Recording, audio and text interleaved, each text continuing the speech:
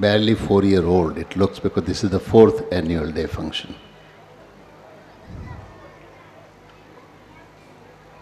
But this is the school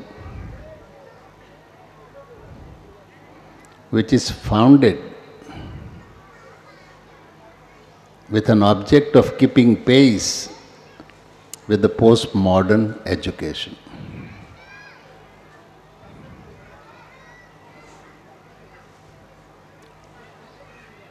સારો દેશ એક અતિશય ભારવાળા ભણતર સાથે નવી પેઢી ઊભી કરી રહ્યો છે. નવી નવી સ્કૂલો દ્વારા, કોલેજો દ્વારા, યુનિવર્સિટીઓ દ્વારા.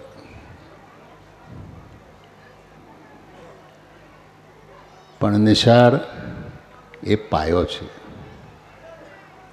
શિક્ષણનો પાયો છે. ત્યાં જ બાળકના સંસ્કાર અને એનો સંસ્કાર પિંડ ગુરુજનો બાંધે છે. એનું સંવર્ધન કરે છે. અને એ પાયાની કેળવણીમાં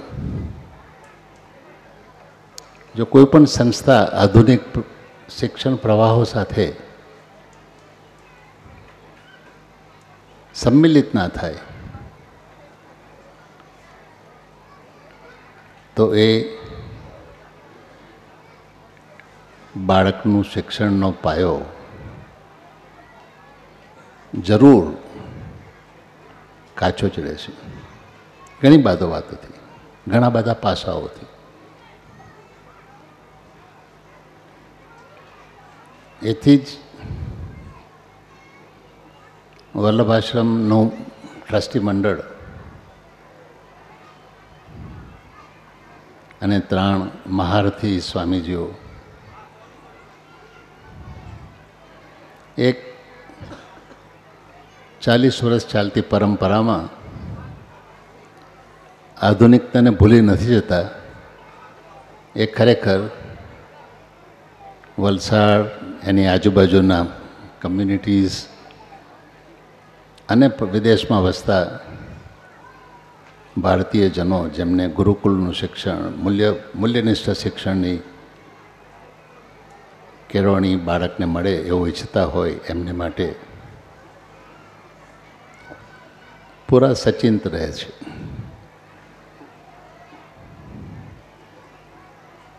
જે નિષ્ઠાથી ત્રણેય સ્વામી માર્થીઓ બાળકોના સંસ્કારોનું સંવર્ધન રાખે છે, મૂલ્યનિષ્ઠા જુએ છે અને શિક્ષણના આધુનિક પ્રવાહોની સાથે એ બાળકોને વહેવા દે છે, એ બાળકોને તરવા દે છે. એ ખરેખર ખૂબ જ આનંદની વાત છે. અને એ જનકલ્યાણકારી પણ છે, સમાજોપયોગી પણ છે. અને બાળકોનું હિત સંવર્ધન કરનારી એક પ્રવૃત્તિ પણ છે. Today's theme, as probably the principals and the children of the school have selected, is transformation.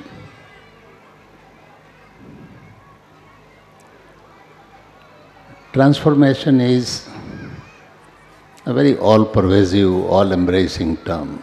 It means zillions of things, variety of things. અહીં જે ટ્રાન્સફોર્મેશન થઈ રહ્યું છે, એ ટ્રાન્સફોર્મેશન ભારતીય સંસ્કૃતિની પરંપરામાં જે શિક્ષણની આબોહવા ઊભી કરવાની છે. જેમાં મૂલ્યનિષ્ઠ શિક્ષણ થતું હોય, મૂલ્યનિષ્ઠ કેરેક્ટર બિલ્ડિંગ થતું હોય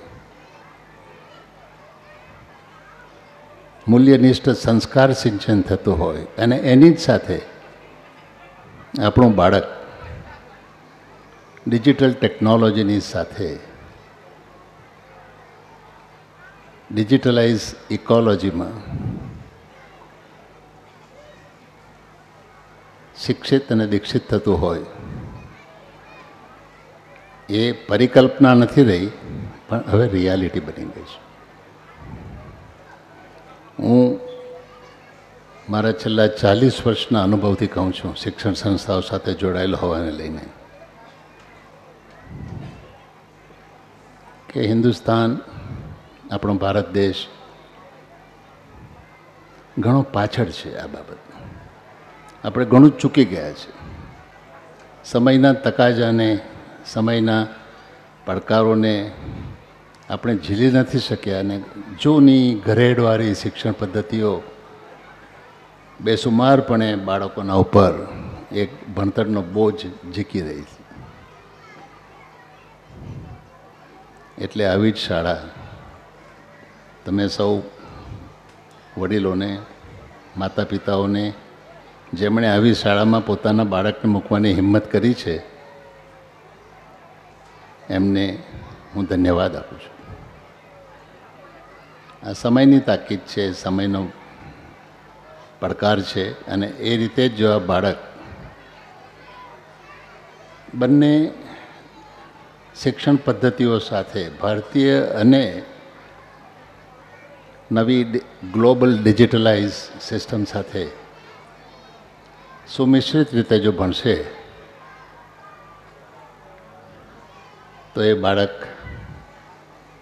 ભારત વર્ષનો એક ઘણો જ પ્રોડક્ટિવ ઘણો જ સેલ્ફ કોન્ફિડન્ટ અને ઘણો જ પ્રગતિશીલ નવયુવાન કે નવયુવતી બની રહેશે મને શ્રદ્ધા છે. હું પણ અમુક કેટલીક સંસ્થાઓ ચલાવું છું. જે બાળકોને સમાજ વિકલાંગો તરીકે, અપંગો તરીકે અત્યાર સુધી જોતો હતો. માનસિક ક્ષતિગ્રસ્તતાવાળા બાળકો છે. શારીરિક ક્ષતિગ્રસ્તતાવાળા બાળકો છે. કે દ્રષ્ટિની ક્ષતિગ્રસ્તતાવાળા બાળકો છે. એ ત્રણેય પ્રકારના બાળકોની સ્કૂલો હું ચલાવું છું, તેમાં જોઉં છું. છેલ્લા પાંચ વર્ષમાં એ બાળકો ડિજિટલાઇઝ ક્લાસરૂમ સાથે સુપેરે તાલમેલથી ખૂબ જ ઉત્સાહથી શિક્ષણ લઈ રહ્યા છે. આ મારો અનુભવ છે, જાત અનુભવ છે. એ જ રીતે જ્યારે આપણી આવી સ્કૂલોને પણ આજના વિશ્વ વિશ્વવિખ્યાત બધા જે નવા, નવી શિક્ષણ પદ્ધતિઓ આવી રહી છે, ડિજિટલાઇઝ એજ્યુકેશન આવી રહ્યું છે, ડિજિટલાઇઝ ડિલિવરી ઓફ એજ્યુકેશન આવી રહ્યું છે. એ જ ભારત વર્ષનું ભવિષ્ય છે. અને આજે પ્રિન્સિપલશ્રીએ જે કહ્યું કે અમારા બાળકોનું રિઝલ્ટ પણ સો ટકા આવે છે. દીકરા દીકરીઓની એકેડેમિક એક્સલન્સ પણ સારી રીતે પાંગરી રહી છે. એમની કો કરિક્યુલર એક્ટિવિટીઝ પણ અનેકો ઇનામો લાવી રહી છે. એ ખરેખર એ ગુરુ ગુરુજન અને પ્રિન્સિપલ ધન્યવાદને પાત્ર છે. અને મારા વતી અને આપ સૌ વતી હું એમનું અભિવાદન કરું છું અને ધન્યવાદ આપું છું.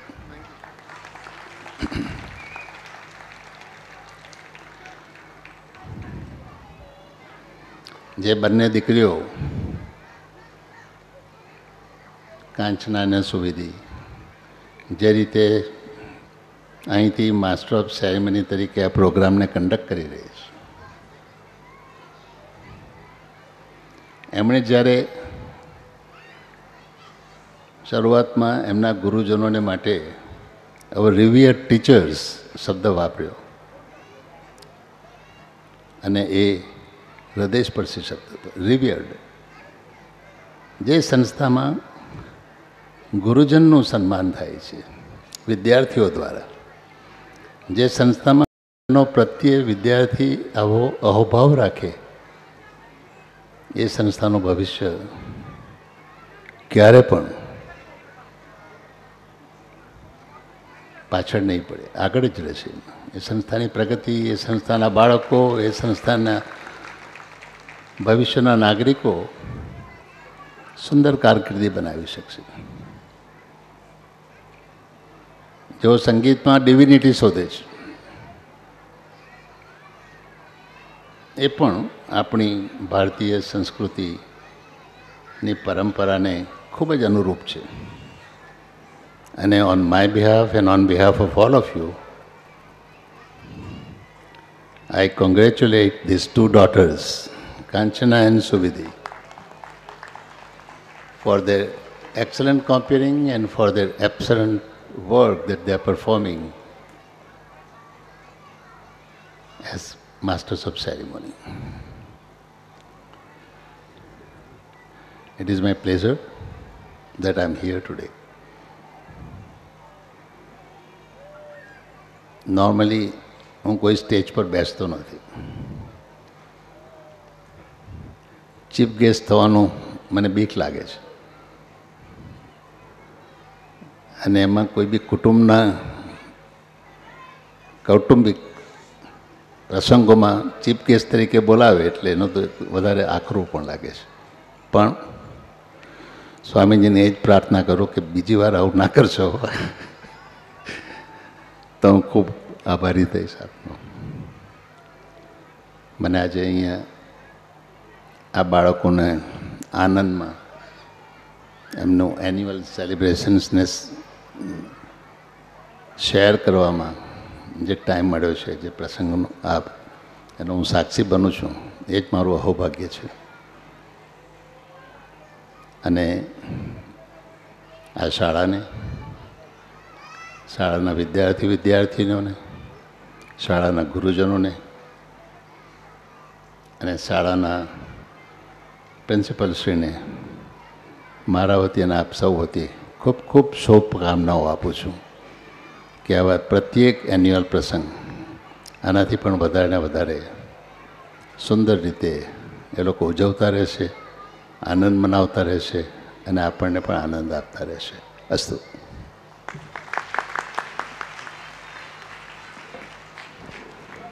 Thank you so much, sir. You're really an inspiration.